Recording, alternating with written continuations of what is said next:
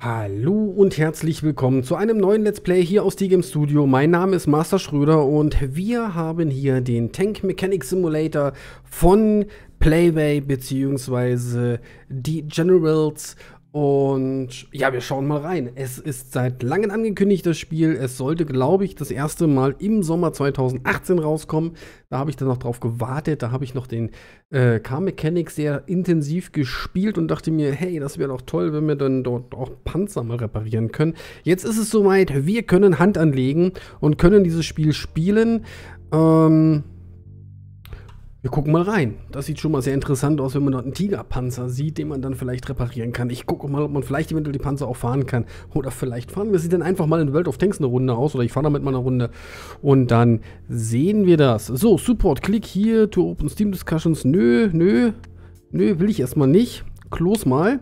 So, ich würde ganz gerne erstmal Nee, unter Extras will ich auch nicht gucken. Ich will unter Settings gucken.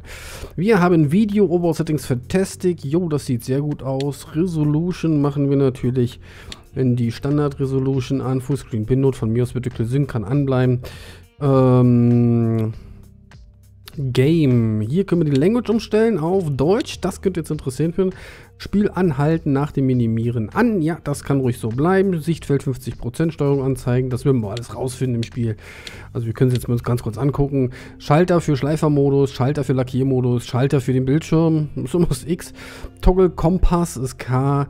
Ähm, und Marker setzen, Gaspedal, Bremspedal, links abbiegen, rechts abbiegen, Handbremse, Ratio, Lichtschalter im Geländewagen, äh, Testgelände, freie Kamera, Munitionstyp wechseln, Schießen, eine Primärwaffe, also wir können damit auch schießen, und wir haben eine Taschenlampe äh, Lampe und äh, interessante Objekte können wir uns mit G anzeigen lassen, wenn wir draußen unterwegs sind. Schnittstellen haben wir das Radialmenü, das Tablet, die Konsole. Und das ist doch ganz gut. Inspektionsmodus, Innenraum des Panzers kann man sich auch angucken. Montage, Demontage ist die 1 und die 2. Na, wir gucken mal. Gerät zum Entrosten, Sandpistole. Wir sehen, äh, wie das weitergeht. Wir wollen also beginnen. Muss das Überblick extra sein. Wir wollen beginnen. Und zwar brauchen wir, upsala, huiuiui, der Panther, Panz, also Kampfpanzerwagen oder Panzerkampfwagen, so rum. Heißt es nicht Kampfpanzerwagen? Ne, PZ, KPFW? Oh, kann sein, Panzerkampfwagen 5. Äh, Panther, äh, und hier haben wir, willkommen in der Werkstatt, da haben wir jetzt erstmal einen Rundblick. Äh, sieht erstmal ganz gut aus. Ne? Das kennen wir ja so ein bisschen. Sieht eigentlich echt schick aus. Also so von der, von der grundlegenden. Oh, guck mal, hier ist so eine Lampe. Kann ich die anschalten? Klicken, um hochzuheben, um umzuschalten. Ah ja, kann man an- und ausmachen.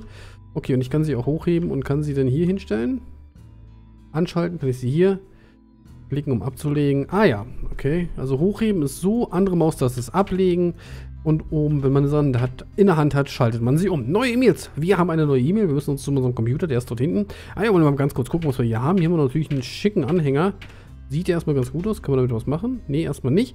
Dann haben wir hier so ein paar ja, keine Ahnung, Felgenräder nennt man das, glaube ich. Ne? Hier haben wir eine ganz schön rostige Antriebswelle. Ähm, hier haben wir Upgrades. Ah, wir können auch wieder upgraden, okay. Also man kann wieder schneller etwas machen, etwas schneller laufen und so weiter. Upgrade verschalten kostet 150 Prestige. Glaube, wir haben 150 Prestige, aber das lassen wir erstmal noch. Dann lassen wir mal das Tutorial für uns alten. Hier haben wir ein schönes Fässchen.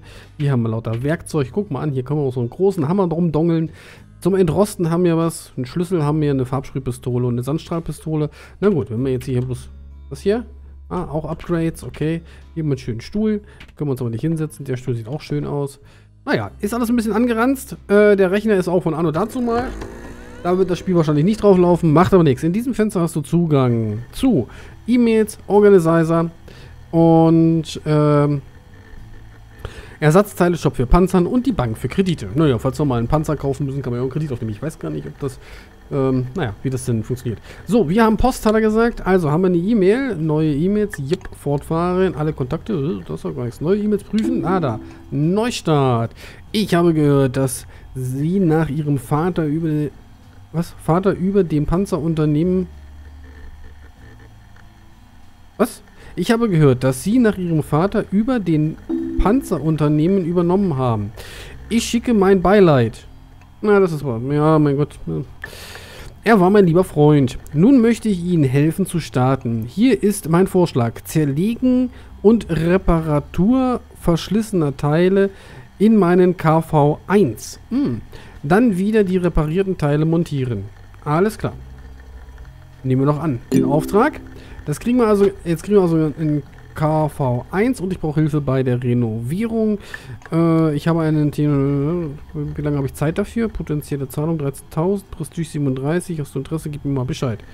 Kann ich den Auftrag auch annehmen? Da habe ich zwei, ne? Keine Ahnung, ich wusste nicht, ob jetzt zwei Panzer draußen rumstehen. Naja, wir werden sehen. So, ähm, da oben ist der Ausschalter dafür. So, hier ist auf jeden Fall erstmal KV1. So, näher dich dem markierten Bauteilen und rücke lang Maustaste. So, das ist markiert. Vordere Abschleppleine. Vorder Kotflü. Ups, was habe ich jetzt gemacht? Geklingelt. Klicken zur Demontage. So, haben wir es demontiert. Okay, gut. Noch irgendwas? Ah ja, hier ist noch ein Teil. Eine Frontleuchte. Können wir auch demontieren. Das Teil können wir natürlich auch demontieren. So, Radialmenü öffnen und das Scrollrad im... Was drücke das Scrollrad, um das Radialmenü zu öffnen? Ah, okay. Und jetzt haben wir hier Lager. Okay, fortfahren. Ähm, drücken Sie den markierten Button, um die Panzerliste zu öffnen. Wähle KV1. Das ist die ganze Panzerliste. Okay, was war denn da schön? Das ist ein Pershing haben wir noch. Ein Sherman Easy 8. Panzer Tiger 1 Ausführung H natürlich. 3 Ausführung J. 4 Ausführung G. Hm, Panther. SKFZ. Interessant. Gut. KV1. Wählen wir mal aus. So. Wählen Sie den Markieren-Button, um eine Reparatur zu bestellen. Ah ja, Reparatur anordnen. Ah, muss ich wahrscheinlich erstmal durchmarkieren. So, äh, erforderliche Zeit 60, fortfahren, Kosten der Operation. Jetzt haben wir ein bisschen Geld. Und jetzt braucht das hier ungefähr eine Minute. Und dann sind die Teile anscheinend repariert. Hm, okay, also kann ich das nicht selber irgendwie reparieren, sondern sie werden jetzt so langsam, aber sicher für mich repariert. Ja, ist auch ein interessantes System. Also beim Car Mechanic hat man da halt eben immer so ein bisschen so ein Zufallssystem gehabt, dass man da selber was reparieren konnte und dann hat man da gestanden an der Werkbank und hat immer gehämmert und geklimpert. Ist aber erstmal nicht schlecht. Also muss man ja auch mal sagen. Sieht ja schon mal nicht schlecht aus hier. Da haben wir ja schon mal ein bisschen was. Der Zustand verbessert sich auch. Ich weiß nicht, muss ich das offen lassen oder geht das dann auch äh, extern wieder? Was haben wir denn hier sowieso alles Schönes? Sollen wir IBA Innenraum ansehen? Oder? Ja, Innen, ah, das ist der Innenraum des Panzers. Ach, guck mal hier, das ist Geschütz. Das ist jetzt ziemlich kurz. Hier haben wir den Sitz des Schützen. Hier haben wir den Sitz des Fahrers. Der ist auch sehr bequem gehalten, muss man ehrlich sagen. Dann haben wir unten die Antriebswellen. Da hinten ist der Motor natürlich. Das ist natürlich sehr interessant. Da können wir ja mal hingucken. Da haben wir hier, oh ja, das sieht schon mal sehr schön aus. Ein Ventilenti haben wir hier. Wo ist der Ventilenti? Da ist der Ventilenti. Der Ventilator, das ist natürlich ein wassergekühlter Vielstoffmotor, würde ich sagen. Ich weiß auch gar nicht, aber das könnte sein, dass wir den komplett auseinandernehmen können. Na, mal gucken, wie weit wir da kommen. So, ähm, wir sollen in den Montagemodus wechseln. Äh, warte mal, da müsste ich jetzt erstmal hier dran gucken, ne? Vorder Kotflügel, äh, klicken zur Auswahl. Nee. Doch? Nee. So, klicken Auswahl, Demontage. Nee, wir wechseln zum Montagemodus. Ähm, Montagemodus. Ah ja, da ist er. Ernsthaft, das ist der Montagemodus? Demontagemodus, Montagemodus. Ah, das sieht ja aus. Na gut, so, jetzt haben wir hier mal die Frontleuchte. Die können wir jetzt mal anklicken. Haben wir eine E-Mail gekriegt? Frontleuchte. Ah ja, die müssen wir dann bloß festhalten. Okay. Dann können wir das da wieder anbringen. So. Das soll denn so. Gehen Sie zum markierten Computer und klicken Sie auf ihn. Alles klar. Wir gehen zum markierten Computer und klicken auf ihn. Irgendwo Computer markiert. Gehen Sie zum markierten Computer. Das Ding ist dazu. Naja, gut, okay. Wir sollen zum Computer gehen. So, gehen wir mal zum Computer. da sollen wir den, den hier öffnen und sagen: Fortfahren. Benötige Reparatur zum Zustand. Neustart. Frontleuchten. Ne? Bestellung abschließen. So, wir haben 2000 Dollar verdient. Wir haben den ersten Auftrag fertig und wir brauchen Hilfe äh, bei der Reparatur von dem T34. Der müsste ja dann jetzt hier irgendwo rumfliegen. Keine Ahnung. Gehe zum Ausstellungsraum. Zimmer ist noch nicht freigeschaltet. Alles klar, okay, ja, gut. Motorständer. Ja, gehe zum Hinterhof. Da können wir hin. Da müsste jetzt irgendwo so ein T34 rumaxilieren. Den müssen wir nämlich jetzt in die Werkstatt bringen. Ich weiß nicht, ob er im Hinterhof steht, aber ich vermute einfach mal. Wir laden jetzt erstmal eine Runde. Ach ja. Parkzone. Okay, also hier mal Parkzonen. Äh, hier können Panzer geparkt werden. Äh, hier gibt es mehr Slots als in der Werkstatt. Ferner befindet sich hier Schrott und Müll, aus dem Spieler neue Ersatzteile bauen können, bis zur Ausschöpfung der jeweiligen Quelle. Aha. Hier gibt es also auch Schrott, den man dann einsammeln kann. Das haben sie irgendwie von den, den Schrottbrüdern Diesel Brothers oder so übernommen wahrscheinlich. Hier mal Müll. Ähm, gucken wir doch mal, klicke mal um zu benutzen. Haben wir jetzt in 19 irgendwas rausgekriegt? Ersatzteile? Ich weiß noch nicht, was das ist. Egal. So. Was haben wir hier Schönes? Hier liegen ein paar alle Steine rum. Das ist ganz schön eine Buckelpiste hier, muss man ehrlich sagen. Mit so Skins, wer hat denn hier solche Löcher reingemacht? Sieht ja aus, als wenn hier die... So, hier wir nochmal Schrott oder? Nee, kein Schrott. Doch, da haben wir Müll. Da klicken wir auch, um den zu benutzen. So. Ich weiß nicht, ob ich den öfter benutzen kann oder so. Ich gehe da jetzt einfach mal lang. Das sieht hier ja auch sehr interessant aus, muss ich sagen. Ne, Ach, ich soll jetzt doch wieder überprüfen, Computer. Okay, den eilen wir mal, weil mit Shift-Taste rennt man schneller. Okay. Warte mal, darf ich nochmal ganz kurz den Müll angreifen hier? So. Im Ausstellungsraum. Achso, das Zimmer ist noch nicht freigeschaltet. Moment, Moment, Moment. Also hier steht auf jeden Fall ein T34 rum. Der sieht echt schon ganz übel aus. Gehen wir mal nochmal zur Werkstatt. Kampfpanzerwagen 4, Ausführung G. Ja, das ist auch ein schönes Fahrzeug. Ich glaube, den gibt es so. Weiß ich nicht, ob es den so auf den gibt. Ausführung H gibt es auf jeden Fall. Also mit den Schürzen. So, ja, wir sollen schon wieder E-Mails öffnen. Öffnen wir E-Mails. Gut, was soll man machen? Ähm, prüfe die E-Mails. Prüfe E-Mails. So, Angebot, Reparatur. Ich brauche dringend Hilfe beim KV2. Schreibt mir bitte schnell. Es ist wirklich wichtig. Zeit für den Einkauf. Ähm, Wählen Sie eine E-Mail aus und akzeptieren Sie den Kontrakt. Ich habe einen anderen Panzer, diesmal, zusammen, diesmal zusammengebaut werden muss. Hier müssen viele Teile für mein T3476i im Online-Shop kaufen und montieren Sie. Viel Glück. Kostet 4000, okay. Ah, das ist anscheinend... Ah ja, okay, gut. Aber, ja. Nö, den will ich jetzt erstmal nicht... Na doch, na komm, den nehmen wir mal an. Machen wir den noch schnell. Der gehört anscheinend zur... Weil der hier mit einem Sternchen markiert ist. Ähm zur Kampagne.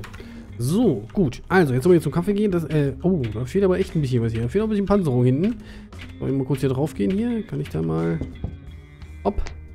Ah ja, da fehlt eine Panzerabdeckung. Mhm, mhm, so, näher dich dem Panzer und öffne das Radialmenü, indem du auf den Panzer schaust. Okay, habe ich. Äh, Option auswählen, Panzerstatus.